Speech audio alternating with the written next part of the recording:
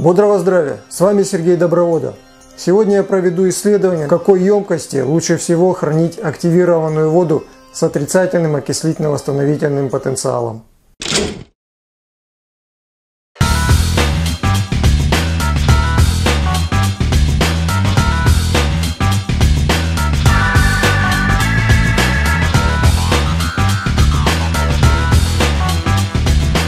Для исследования используем воду, полученную с помощью установки Изумруд SI ижевской фирмы Икар. Для исследований будем использовать 6 емкостей для питьевой воды.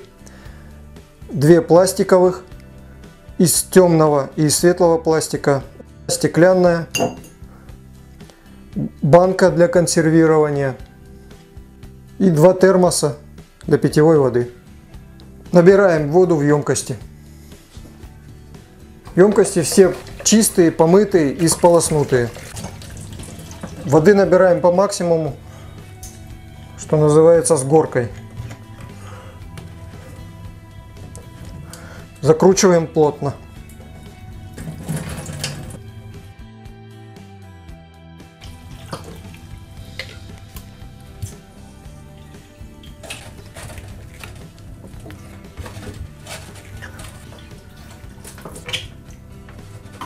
Наберем немного воды для измерения ЭДС потенциала. Исходная вода, которую мы залили в емкости.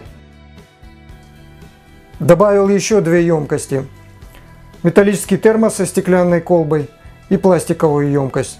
Итого 8 емкостей с активированной водой. Через сутки посмотрим показания активности воды. Измерим показания активности воды в каждой емкости и сравним.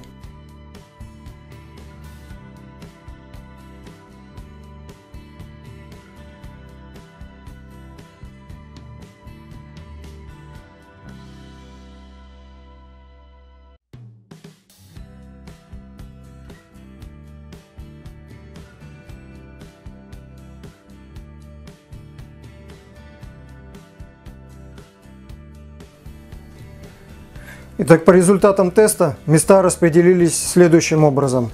На первом месте термос из нержавейки с колбой из нержавейки. На втором месте бутылка от минералки, зеленая стеклянная. На третьем месте термос, внутри стеклянная колба.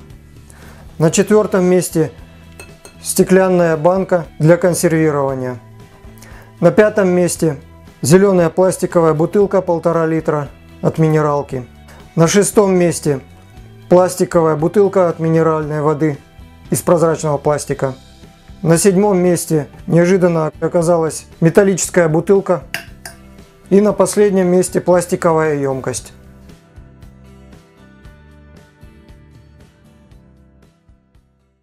Пейте живую воду и живите полноценной жизнью. С вами по-прежнему Сергей Добровода.